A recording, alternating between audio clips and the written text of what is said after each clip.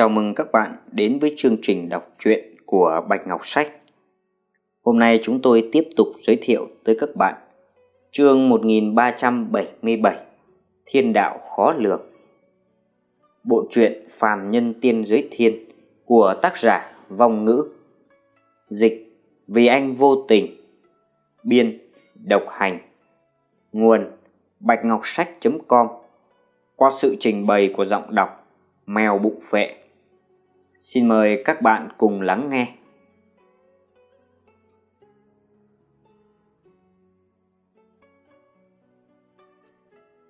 Chấp mê bất ngộ. Cổ hoặc kim thấy vậy, Chỉ cười nhạt một tiếng, Dứt lời hai tay y rơ lên cao. Hai đạo ánh sáng màu vàng từ trong lòng bàn tay không ngừng tuôn ra, mãnh liệt lao tới giữa không trung. Vòng xoáy hỗn độn kia lập tức bị kim quang quấy lên.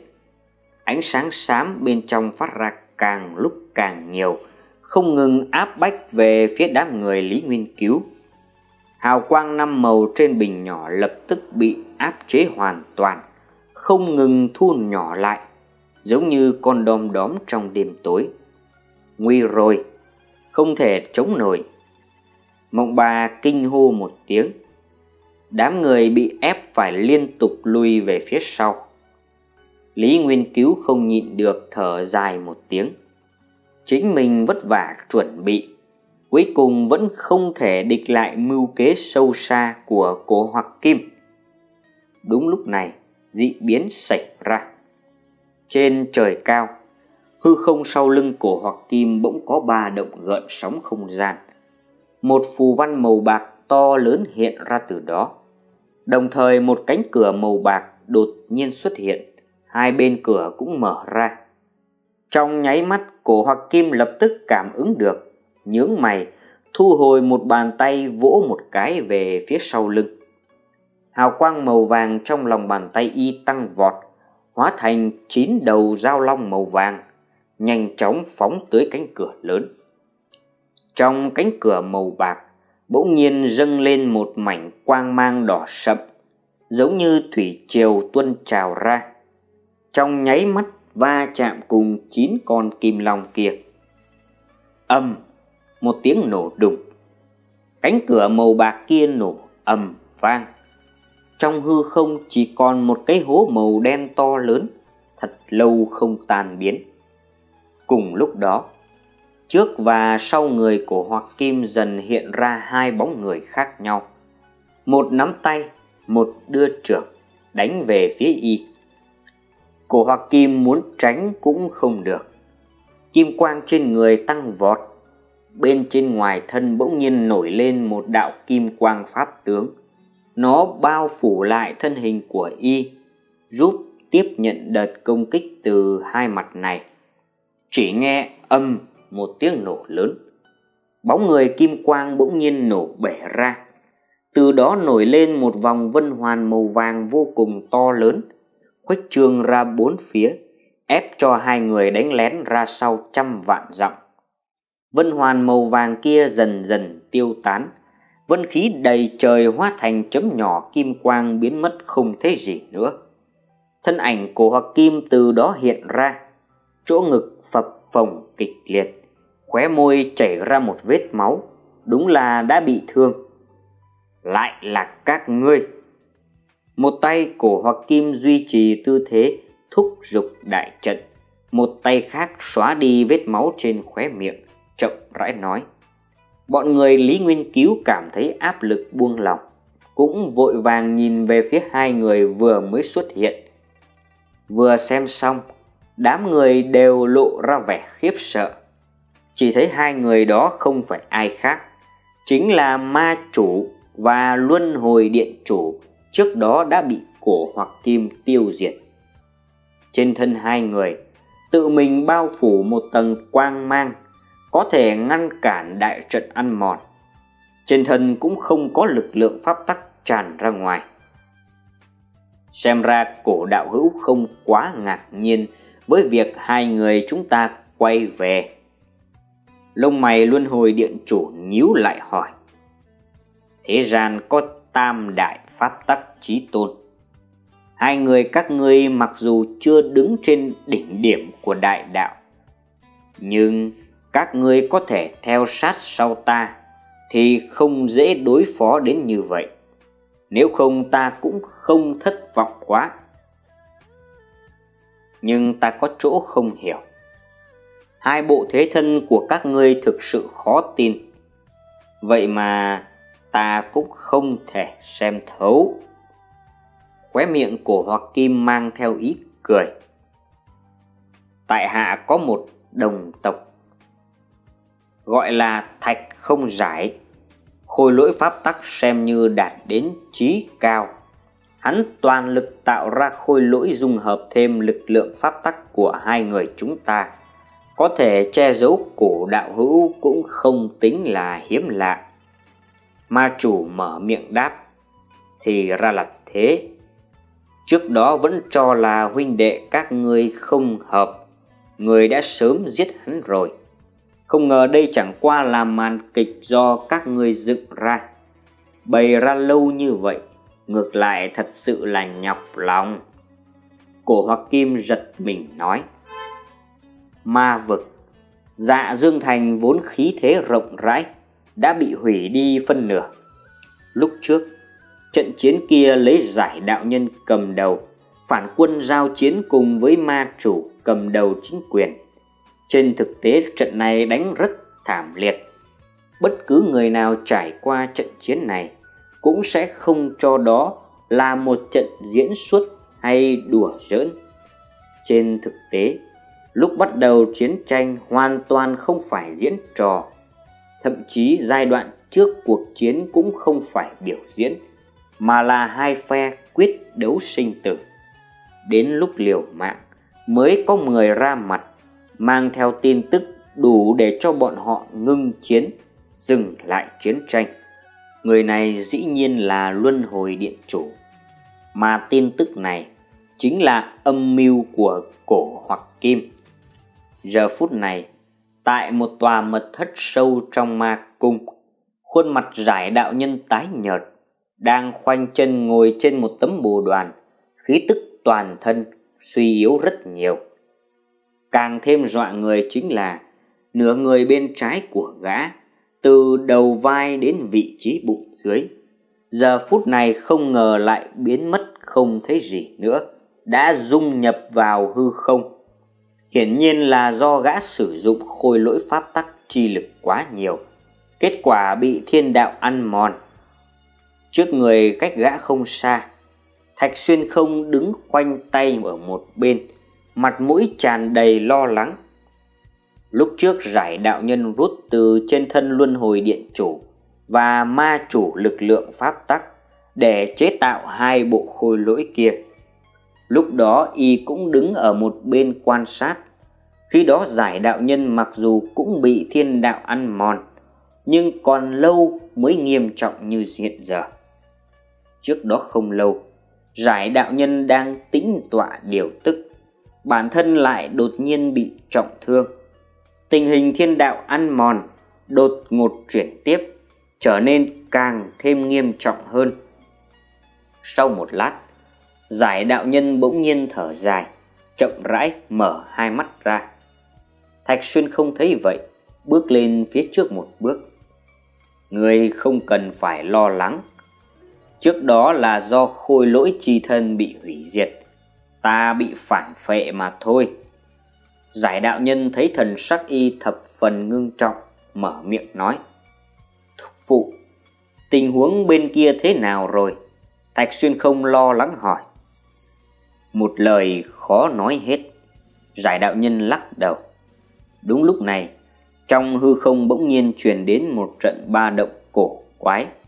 Đồng thời, từng tia từng sợi lực lượng pháp tắc từ trên thân hai người bọn họ tràn ra ngoài. Nó giống như là sợi tơ bị dẫn dắt bay vào hư không. Đây là thạch xuyên không giật mình, vội hỏi. Cổ hoặc kim mở ra đại trận tình thế bên kia không ổn thân sắc giải đạo nhân càng trở nên nghiêm trọng hơn trong vực ngoại hư không hàn lập mang theo kim đồng thân hình hai người nhanh như điện bay phía trên thiên ngoại cương phong. Bọn hắn vốn là muốn từ những cửa sổ chưa đóng lại kia tiến vào tiên vực nào đó, lại thông qua truyền tống trận trong tiên vực tiến về trung thổ tiên vực. Nhưng kết quả lại phát hiện, chẳng biết tại sao, những trận pháp truyền tống thông hướng trung thổ tiên vực, thậm chí là thông hướng phụ cận trung thổ tiên vực. Vậy mà đều không ngoại lệ, tất cả đều không cách nào vận chuyển. Sau khi thử qua một phen, Hàn Lập quyết định mang theo kim đồng giống như lúc trước, nhạc miệng mang theo bọn hắn xuyên thẳng qua vực ngoại, trực tiếp từ vực ngoại không gian chạy tới trung thổ tiên vực. Ngay lúc hai người đang toàn lực phi hành, trên thân lại đột nhiên xảy ra dị trạng. Bắt đầu có tinh ti giống như lực lượng pháp tắc thoát ra, biến mất vào giữa hư không. Đây là chuyện gì đang xảy ra? Thân hình kim đồng dừng lại, kinh ngạc nói. An Lập thấy thế suy nghĩ một chút, chậm rãi đáp. Chỉ sợ thiên đình bên kia đã xảy ra biến cố. Nói xong, hắn vội vận chuyển tiên linh lực. Ý đồ phong tỏa ngăn cản lực lượng pháp tắc của mình, không để tiếp tục thoát ra bên ngoài. Thế mà lại không được. Nhưng sau khi thử một lần, hắn kinh ngạc phát hiện lực lượng pháp tắc tràn ra ngoài vậy mà không cách nào ngăn cản vậy phải làm sao bây giờ? Nếu một mực trôi qua như thế, chỉ sợ chúng ta đuổi chưa đến thiên đình đã. Kim đồng nói còn chưa dứt lời, lại phát hiện chỗ ngực hàn lập có một đạo hào quang màu xanh lục phát sáng lên. Hàn lập tự nhiên cũng đã nhận ra bình nhỏ đang biến hóa, vội vàng lấy nó từ trước ngực ra ngoài chỉ thấy hoa văn lá cây trên đó dần sáng lên. Từ đó tỏa ra quang trạch bao phủ lại thân thể hàn lập. Những tia sáng màu vàng tràn ra ngoài kia, trong nháy mắt biến mất không thấy gì nữa.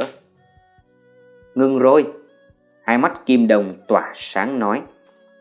Hàn lập hơi chần chờ, tiện tay đánh ra một đạo quang mang liên kết với kim đồng. Tầng tia sáng bao phủ toàn thân hắn lập tức lan tràn, bao kim đồng lại. Lực lượng pháp tắc trên người nàng cũng không còn tiếp tục tràn ra ngoài. Xem ra chiếc bình nhỏ này có thể chống cự lại biến hóa cổ quái của thiên địa. Chỉ là không biết tạm thời hay vĩnh viễn, chúng ta không nên chậm trễ, nhanh đi đến thiên đỉnh mau. Thần sắc hàn lập ngưng trọng nói kim đồng cũng gật đầu nhẹ. Hai người cùng nhau bay đi. Trong nháy mắt liền biến mất. Trung thổ tiên vực, kỳ thiên đại lục. Bổ thiên tông trên long khởi phong vẫn như cũ một mảnh vắng lặng. Nhưng chẳng biết tại sao, hôm nay trên đỉnh núi, từng cây đào cổ thụ giống như bị một trận mưa to, làm phấn hoa phát tán, lá rụng khắp nơi bộ dáng trở nên thê lương đáng thảm. Không có vân khí bao phủ cũng mất đi hoa lá che giấu.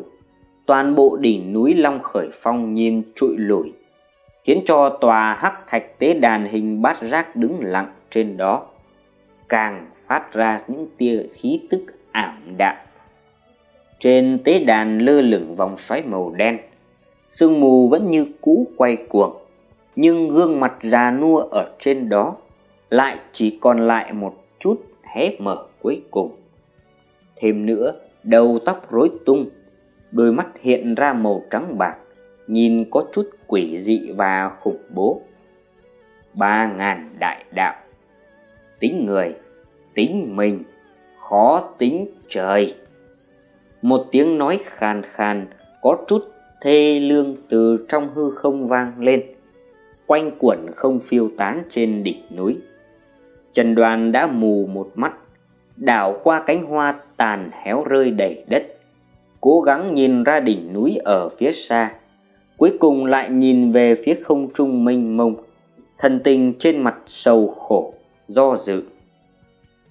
Thôi thì, ta kéo dài hơi tàn sống nhiều năm như vậy, cuối cùng còn không dám bói một quẻ này bây giờ cơ duyên đại đạo cũng chỉ sót lại nửa quẻ. Có thể bói ra hay không? Trong vận mệnh tối tăm, nhìn xem số trời. Trần đoan cười khổ, chậm rãi nói. Kết quả bồ đề yến thế nào lão cũng không muốn biết. Chỉ muốn biết tương lai cổ hoặc kim sẽ như thế nào.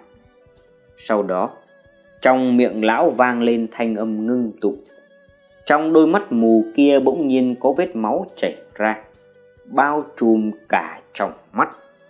Chớp mắt nó tựa như bắt đầu cháy lên rừng rực, hóa thành một đạo tinh quang màu máu, phun ra ngoài, đánh vào vùng hư không trước người.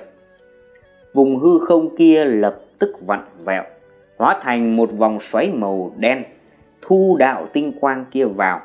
Giữa chúng nhấc lên một cầu nối màu máu nhưng vị lão già đứng ở đỉnh phong dự ngôn pháp tắc này, rốt cuộc đã đến tình trạng đèn cạn dầu. Cầu nối kia vừa mới dừng lên, chỉ mười mấy hơi thở sau liền vang lên tiếng sụp đổ ầm ầm. Nhưng vòng xoáy màu đen cũng không biến mất, mà bay thẳng đến trần đoàn lão tổ. Tương dung cùng vòng xoáy màu đen sau lưng, chậm rãi nuốt thân thể tàn phế còn sót lại của lão vào không nghĩ tới lại thành ra thế này. Giữa thiên địa, trần đoàn lão tổ chỉ để lại một câu nói. Chỉ một thoáng, toàn bộ long khởi phong, tất cả đào thụ không lửa tự cháy, khói đen ngút trời, như rồng trên núi trốn vào trời cao. Các bạn vừa lắng nghe chương 1377 Thiên đạo khó lường, Bản dịch Bạch Ngọc Sách, qua sự trình bày của giọng đọc Mèo Bụng Phệ Diễn biến chuyện tiếp theo ra sao? Xin mời các bạn tiếp tục theo dõi kênh youtube Bạch Ngọc Sách để lắng nghe